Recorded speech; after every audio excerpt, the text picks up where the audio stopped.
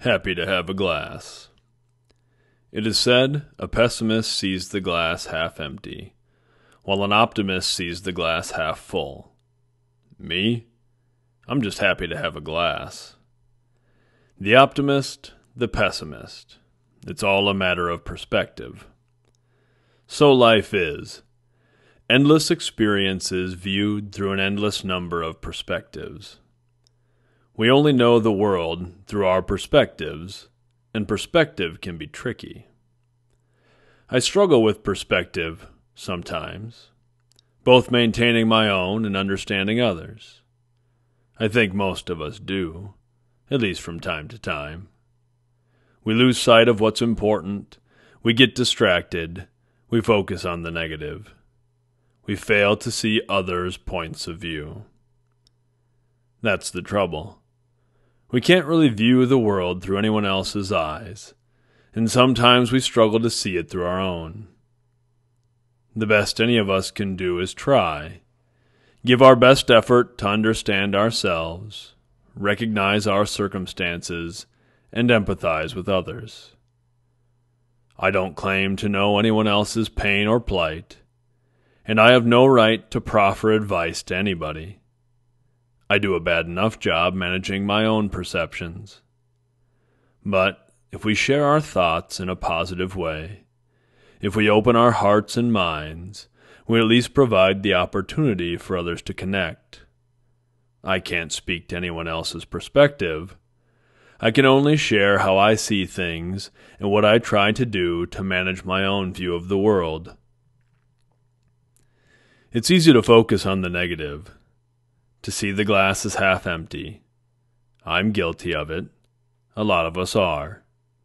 There's just something so glaring about that empty space. It doesn't take much effort to see the challenges in our lives, to focus on the negative aspects of our situations to dwell on our own shortcomings. Again, I don't pretend to understand anyone else's troubles. There are tragic, horrific, unconscionable things in this world, about many of which I have no first hand knowledge. I don't want to make light of any struggles. But I am certain that dwelling on them without action will not fix them. That's why I don't believe in complaining. For some people, vocalizing challenges may be a step in their action process, and I'm all for honest identification of a problem. But often, it seems like complaining is done for the sake of complaining. I think it's a way for some people to connect with others and gain a sense of significance. It just doesn't make much sense to me, and I sometimes struggle to relate to others' complaints. I'm sure I haven't always been a great friend to those airing their grievances, but it's not that I don't care. In fact, I generally do care, and I try to empathize. I even want to help, but that can be a problem too. I tend to be all in on action, try to spitball possible solutions and go to work. That can be a bit overbearing, and some people just want to vent. I'm working on being a more supportive ear. But I've also learned some people don't actually want their problems solved. If their problems go away, they won't have anything to complain about. Others just don't want advice. Most, though, I think are simply too afraid to take action. Fear keeps us from acting. It's safer to wallow in our current troubles than risk changing them. That's when we fall into the habit of seeing the glass half empty. I do it too. I fall into the trap of aimless negativity. I complain and sit idly in my troubles. That's the hypocrisy of perspective. It's often easier to see the destructive behaviors of others than it is to look in the mirror. That's the danger, though. If we get stuck in a negative perspective, if we consistently see the glass as half empty, we become sad, angry, bitter, depressed. We damage ourselves.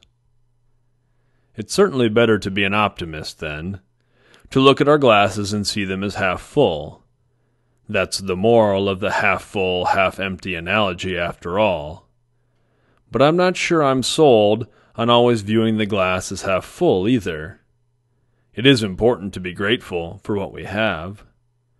Gratitude is critical to a happy and fulfilling life, and there is a host of research to support this notion.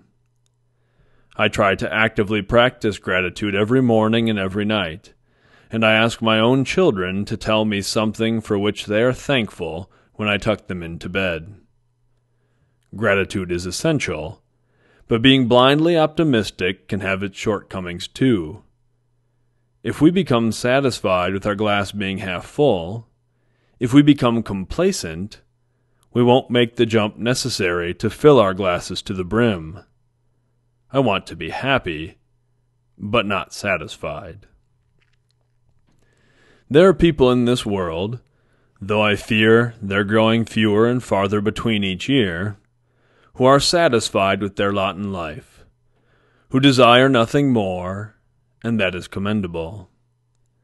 I just know I have to keep moving. I have to keep growing, not to acquire more, but to do more, to be more. That's why I'm not entirely sold on always viewing the glass as half full. Half full and half empty are just different labels attached to the same situation. The label has nothing to do with our ability to change the situation. That's why I just try to see the glass. If I focus on the glass, I can fill it. I want to be optimistic and happy for whatever I currently have, but I also want to stay focused on the potential, all the promise and opportunity that comes with simply having a glass. That's what I mean when I say, I'm just happy to have a glass. That's what I want for my children and my students. I want them to be optimistic, but I don't want them to be complacent. I want them to be grateful for the glass. If their glass is half full, I want them to be grateful for that. But I also want them to understand it's okay to want to fill the rest of the glass. That empty space need not be seen pessimistically, for in that space lies opportunity. We can go to work and fill the glass. Maybe that's my real problem with the whole glass analogy. It sort of suggests we should just smile at the liquid in the glass while ignoring the empty space. We know that's dangerous. We know bad things happen when we ignore the negative aspects of our lives. We know troubles arise when we brush things under the rug. We can be totally happy with certain aspects of our lives and haunted by others. In that case, the water that fills half our glass is nothing more than a distraction from the empty space. It becomes an excuse, an excuse to ignore our physical health, our mental health, the well being of those around us, an excuse to ignore the challenges in our own lives and the tragedies of the world. I don't want that either. I don't want to be blind to my own shortcomings, and I don't want to look away from my challenges. I want to stare my demons in the eyes and feel their cold breath upon my neck. I can't fight them if I can't see them. I don't want to ignore the challenges in my life. I want to own them. That's why I try to see the glass. I try to strip things down to their simplest and truest form. I try to look past even the level of water in the glass to see the glass itself. The glass is truth. Thoreau said, Rather than love, than money, than fame, give me truth. That is what I seek. It's hard to know the truth, especially in today's society, but we can find truth in ourselves if we're willing to really look. If we look at the glass, we can see both the positive and the negative. We can be happy for the things we have, and we can be clear about the things we don't. We can be proud of our accomplishments and honest about our shortcomings, and that's a crucial point. When we see the glass, we are made aware of a harsh but vital truth. We are largely responsible for filling our own glass. There is certainly good fortune and bad. The good helps fill our glass, and the bad empties it. I was born to good parents in a country with freedoms and opportunities. I received a good education.